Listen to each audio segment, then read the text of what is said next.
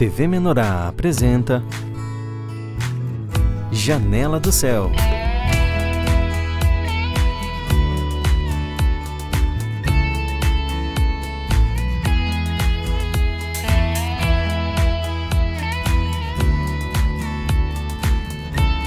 Janela do Céu.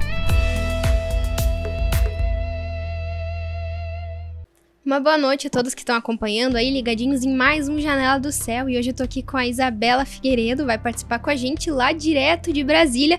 Ela vai estar aqui com a gente hoje para contar a história dela, né? Como que ela conheceu o Senhor, o que, que o Senhor fez na vida dela, como que era antes a vida dela também. Então a gente vai conhecer um pouquinho toda a história dela e convido vocês para ficar aqui comigo. Boa noite, Isabela. Boa noite, Ana. Boa noite a todos os irmãos aí que estão conectados no programa.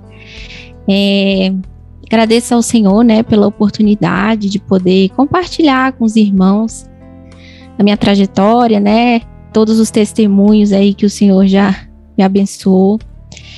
E começando assim do começo, né, contando assim, é, eu, eu tenho 30 anos hoje, né, eu nasci meus pais eram adolescentes, assim, muito jovens, então foi bem difícil, foi uma gravidez na adolescência, foi um pouco de susto. E minha mãe morava com a minha avó, né, e com a avó dela também, num lar que era bem desestruturado, assim, espiritualmente falando, era uma bagunça.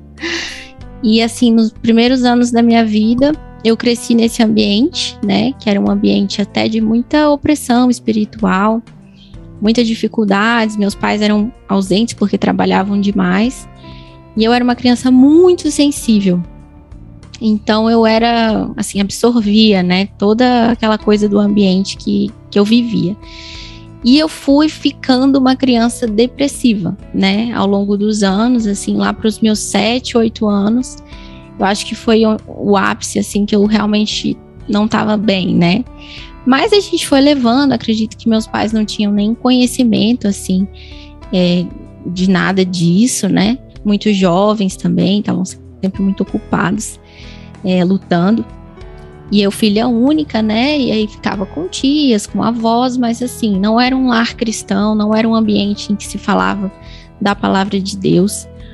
Mas eu sempre tive dentro de mim uma, uma inclinação para as coisas do Senhor. Então, sempre que eu tinha acesso a uma bíbliazinha infantil, a um disco é, de CD cristão, eu, eu sempre estava me apegando naquilo, né?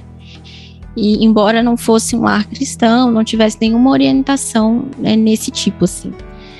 E aí, quando eu tinha ali mais ou menos uns. Então, foi um, os meus primeiros 10 anos da minha vida foram bem conturbados, inclusive espiritualmente, né? Na questão da depressão, que depois eu fui entender que era espiritual foi, foram anos bem difíceis, assim, né? Na minha primeira infância ali.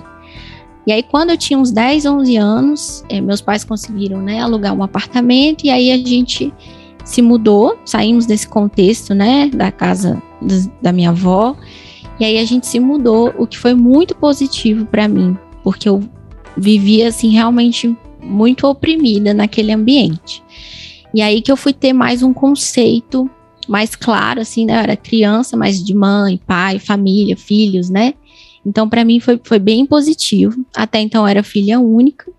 Aí, quando eu tinha uns 12 anos, veio a minha irmã. E aí, realmente, essa, essa questão familiar ficou mais estruturada para mim. É, quando eu tinha uns 13 anos, eu tive uma espécie, assim, de um surto de depressão, né?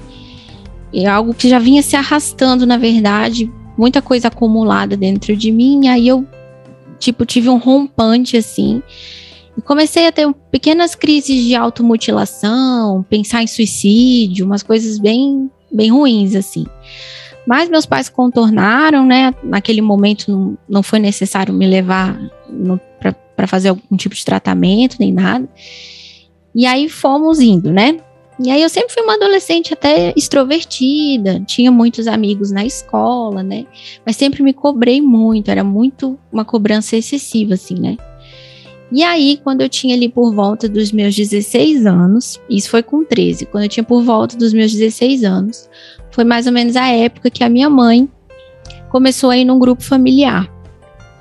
é, de uma colega do trabalho e o esposo dessa colega era irmão, né? Fazia o grupo na casa deles e a minha mãe começou a ir. Meu pai não acompanhava ela nessa época, não, não tinha interesse em ir, mas eu despertei para isso porque eu sempre gostei da Bíblia, sempre gostei de Jesus, da história de Jesus, das coisas do Senhor mesmo, de ler salmos, né? Isso sempre me acalentou nos momentos difíceis, embora não tivesse uma orientação, eu creio que já era o Espírito mesmo que estava ali, né, cuidando.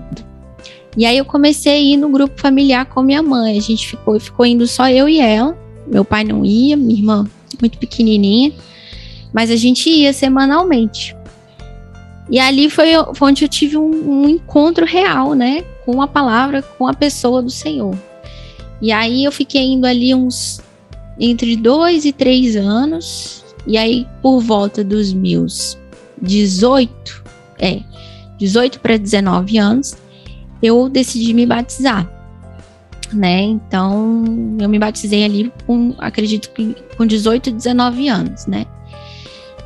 E aí, assim, eu entendia o que era o batismo, né? Que eu precisava descer as águas, aceitar Jesus como meu Senhor e Salvador, que aquilo era uma nova roupagem que eu ia ter, que era a salvação, mas muito novinha ainda, né? Uma, um pouco imatura. Mas eu já tinha tido um encontro com o Senhor e eu decidi por isso. E foi muito, muito bom. Foi uma decisão maravilhosa na minha vida. Porque um ano antes de eu me batizar, eu tive um surto psicótico de depressão, aí realmente foi muito grave, né? De novo, voltou aquela questão da automutilação, só que mais séria. Algo como querer caminhar para o suicídio mesmo, né, irmãos? Que a gente sabe que quando a gente está no mundo, a gente sem o Senhor, é, com o Senhor já é difícil, né? Mas sem Ele, então, é, o mundo realmente nos engole. Então, eu já vinha muito depressiva desde a infância. E aí, aos meus 17 anos, eu tive esse surto. Fui encaminhada para um psiquiatra, fui diagnosticada com depressão profunda.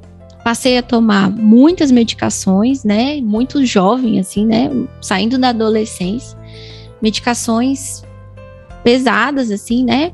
Mas eu realmente estava numa crise muito grave, muito grave mesmo. E nesse um ano depois, mais ou menos, eu continuava frequentando os grupos nesse período, né? Eu me batizei. E aí eu fui, fui tocando a vida assim, né? Eu é, tomava medicação, então, como eu estava com muita depressão, a medicação me ajudava a seguir, né? A conseguir é, continuar com as minhas atividades. Então eu estudava, né, fazia faculdade, tinha um namorado na época, fazia estágio. Então a vida do jovem assim comum, né, eu tocava dessa forma. E aí quando meu quando foi, quando eu completei ali meus 21, 22 anos, minha mãe foi chamada para um concurso em outro estado. E eu já estava estabilizada aqui, né, fazendo faculdade, enfim, trabalhando mesmo com os meus problemas de saúde, eu conseguia já ter uma certa regularidade nas minhas atividades. Então, por isso eu não quis ir, eu queria ficar para terminar a faculdade. E aí, meus pais foram com meus irmãos, que são bem mais novos, né? Como eu já era mais velha, já era maior de idade.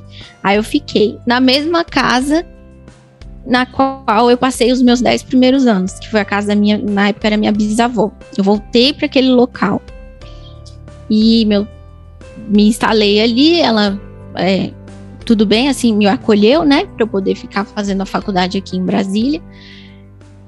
Só que eu acho que foi muito ruim do ponto de vista espiritual ter essa quebra, sabe, dos meus pais irem para outro estado. Eu muito sensível, muito frágil é, emocionalmente e espiritualmente também, porque embora eu tivesse me batizado, não tinha assim muita constância. A obra aqui em Brasília ainda estava se, sabe, assim, se estabelecendo. E eu muito jovem também não, não tinha essa frequência, né? Não fui criada assim com raízes muito fortes, vínculo com a igreja, com a congregação. Então, para mim foi muito difícil até eu firmar.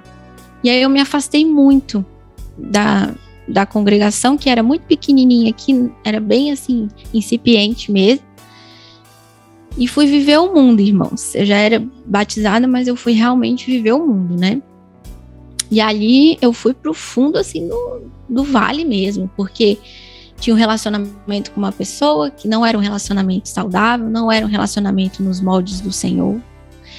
Fiquei muito depressiva, né? Já era, já, já lutava, mas eu muito, muito fundo na depressão. Então o inimigo, ele realmente, o Senhor permitiu, claro, mas eu via assim um mundo de trevas mesmo, de lascívia, até mesmo de drogas, de alcoolismo. Eu fui para a escuridão mesmo nesse período, que foram mais ou menos três anos que eu passei, que meu, minha mãe, meus pais foram para esse outro estado. E que culminou numa crise de depressão gravíssima de novo, reiterada, né, na questão da automutilação ali, indo para um suicídio também. E aí meus pais, eu cheguei ao ponto já de eu ia precisar ser internada uma clínica porque eu estava tendo crises recorrentes. E quando é recorrente, aí o médico dizia que eu talvez tivesse que ir para uma clínica. Mas o Senhor não permitiu, irmãos. Eu nunca entrei numa clínica psiquiátrica, um testemunho assim grandioso mesmo de livramento. E quando os meus pais souberam que eu estava nesse estado, já assim um fiapo, né, espiritual, emocional, eles vieram de, de onde eles estavam, assim, um dia eles chegaram me recolheram dessa casa, desse ambiente e me levaram para a cidade onde ele estava. E eu acredito que mais ou menos ali Deus começou a fazer um trabalho de limpeza, de libertação na minha vida, muito grande, né? Eu era escrava do cigarro, eu era fumante, fumava muito, muito ansiosa, então sempre fumando, é, me apoiando nessas coisas, nessas falsas, né, forças que o mundo diz assim que que vão nos dar algo, mas são vazias. E aí fiquei uns três meses nessa cidade com os meus pais e quis voltar para Brasília para terminar meu curso, né? Que eu já estava encaminhando assim para o final. Voltei, assim, teimei, voltei. E nesse curto período de tempo, eu conheci o meu marido, que na época era só um namorado. Conheci ele no contexto de mundo ainda, né? Não, ele não era é, crente, não era convertido, eu estava muito distante de Deus. Mas conheci ele nesse contexto, ficamos amigos. Alguns meses depois, meus pais voltaram para Brasília e eu resolvi sair de casa, né, e morar numa república de universitários, universitárias, né? E nesse momento eu me uni com esse meu, meu marido, que na época era meu namorado, e nós fomos morar juntos. Isso foi no ano de 2016. Então, o Senhor começou uma, um trabalhar dentro das nossas vidas, começou a é, me constranger que aquela situação não estava agradando a Ele. Em pouco tempo, irmãos, a gente, eu e meu marido, a gente morava numa kitnet, a gente abriu um grupo familiar dentro da nossa casa. Semanalmente, a gente recebia os meus familiares, recebia algumas pessoas nesse grupo. E em um ano, meu marido resolveu se batizar. Nesse mesmo ano, a gente resolveu que a gente tinha que se casar, porque aquela situação não estava agradando a Deus. E o Senhor foi me libertando de uma coisa de cada vez, né? E primeiro eu parei de tomar, eu me formei, né, na universidade, depois eu parei de tomar os remédios antidepressivos. Meu psiquiatra me deu alta e eu já considerei isso um milagre de Deus, porque ele dizia para mim que eu precisaria tomar sempre para sempre, né? Sempre, mesmo que em dose mais baixa a medicação. E aí, irmãos, é, pouco tempo depois, é, eu e meu marido estávamos já, na época era meu noivo, né, constrangidos com essa situação, resolvemos até nos abster, né, de certas coisas, até a gente se casar. Nos casamos em 2018. Dois meses depois, eu engravidei do meu primeiro filho, Daniel, hoje tem dois anos. E aí começou realmente a obra na minha vida, porque Deus vai santificando, né, os filhos dele, né? A mulher por meio da maternidade, o matrimônio, que é uma instituição divina. E aí meu mundo começou a se abrir assim para Deus mesmo. Eu comecei a voltar para o Senhor, principalmente depois que ali naquele período que a gente estava fazendo o grupo familiar. Então, logo eu casei, logo eu engravidei, o Senhor foi colocando ordem na minha vida. Né? E, e não tomava mais remédio, irmão. O Senhor me libertou para sempre da medicação. Isabela, Sim, vou ter é que algo- te interromper um pouquinho pra gente fazer o nosso Amém. intervalo, né? Amém, com certeza, amém. essa parte do testemunho já chamou a atenção de muita gente aí, porque com certeza é algo que muitas pessoas passam, né?